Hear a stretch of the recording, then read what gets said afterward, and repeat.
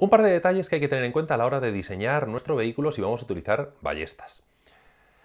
El primero es eh, el punto de flexión de la ballesta, cuando nosotros en capítulos posteriores veremos cómo calculamos el, centro de balanceo, el centro de instantáneo de rotación, etc., siempre consideramos los, puntos de articulación de nuestra suspensión. En una suspensión tradicional de trapecios, eh, articulan en el centro de las rótulas, que son esas piececitas eh, metálicas que tienen una esfera dentro de otra y que permiten articular el conjunto.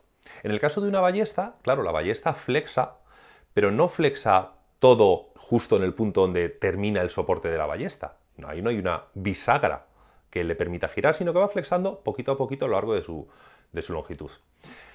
Se han hecho estudios empíricos y, estudios teóricos en los cuales se determina que el, el punto virtual de flexión de una ballesta es aproximadamente un 75% de su longitud, más o menos. Es decir, si tienes una ballesta de 10 centímetros de largo, el punto de pivote no está justo en el punto donde dejas de, sujetarla, sino aproximadamente un 25% más allá, 2,5 centímetros de distancia de, de, ese punto de anclaje. Es decir, el brazo libre no son 10 centímetros, sino 7,5. Es importante tenerlo en cuenta a la hora de diseñar la suspensión, dónde tenemos que poner los puntos de articulación. Otro tema a tener en cuenta es que la ballesta digamos, sufre más, trabaja más en la zona más cercana al punto de anclaje, evidentemente por una cuestión de pura palanca. La parte más cercana a donde la tienes anclada recibe más, recibe más palanca desde la rueda porque está más lejos de ella. Por eso flexa más que la parte más cercana a la rueda. Por eso una ballesta rectangular realmente no tiene mucho sentido, porque estás haciendo trabajar mucho a la parte interior y muy poco a la parte exterior. A la parte exterior le sobra material. Una forma más inteligente de reconstruir una ballesta sería algo parecido a una forma triangular, que tenga la base donde la estás anclando más ancha y la parte exterior donde va anclada la rueda más estrecha. Nunca sería un triángulo puro porque necesitamos una cierta superficie para el anclaje, pero sería algo parecido a un trapecio. Pero digamos que tendrías menos anchura en la parte exterior y más anchura en la parte interior. Y de esa manera repartes el trabajo a todo lo largo de la ballesta puedes emplear menos material o aprovechar mejor el material que tienes.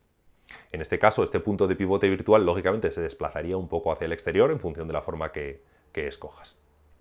Esta forma triangular, eh, en ocasiones nos interesa hacer una ballesta puramente triangular, pero a veces, mm, claro, ocupa mucho espacio y no nos interesa.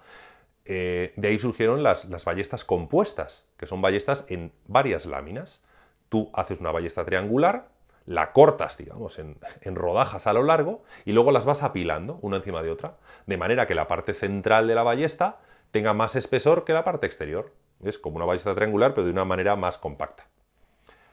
Lo que ocurre es que estas ballestas de varias láminas introducen fricción entre una lámina y otra. Y eso en general es bastante indeseado, son unas suspensiones muy poco sensibles, necesitan mucha fuerza para empezar a moverse. Desde luego para competición no, no son interesantes. Y el último punto a tener en cuenta es la ventaja que hemos dicho antes de que puede utilizar, mm, hacer varias funciones a la vez, mm, sujetar la rueda y dar la suspensión. Hay que tener una cierta precaución con esto. Eh, ya hemos visto que es muy importante la rigidez del conjunto del vehículo, tanto del chasis como de todos los elementos que lo componen. En el caso de la suspensión, si nosotros utilizamos una ballesta, lógicamente la ballesta es flexible en vertical, como suelen ser, mm, digamos, eh, rectángulos anchos y estrechitos, son bastante rígidas, digamos, en sentido longitudinal de adelante a atrás, pero es relativamente fácil retorcerlas, hacer una especie de forma de S con ellas. Por ello, en las tensiones que sufre la rueda, lógicamente en las curvas, cuando cargamos el peso sobre ellas, pueden hacer que esa flexión de las ballestas introduzca unas ciertas deflexiones no deseadas en el pilotaje. Por ello, estas ballestas se pueden combinar básicamente de tres maneras en nuestro sistema de suspensión. Tú puedes utilizar una suspensión tradicional, por ejemplo, de dos trapecios superpuestos, y añadir la ballesta como elemento solamente de muelle. Una configuración de este estilo utilizan desde hace bastantes años los, por ejemplo, los coches americanos, los Corvette, utilizan una, ballesta transversal en fibra y eh, la utilizan solamente para hacer el muelle y luego utilizan sus trapecios para guiar la rueda, para la localización de la rueda.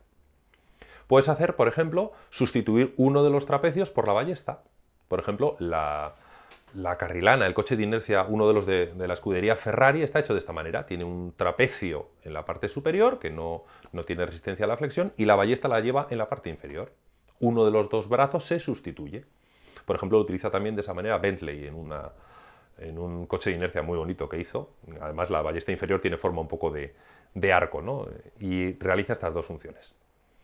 O puedes ir al extremo y utilizar los dos trapecios sustituirlos por dos ballestas. El caso más conocido es las, las goitiberas checas Secora, que utilizan dos ballestas de, acero sustituyendo completamente los brazos. Este evidentemente es el sistema más sencillo de construcción, más compacto, más pequeño, más aerodinámico, pero hay que tener en cuenta que siempre la ballesta será menos efectiva a la hora de localizar la rueda que no el trapecio.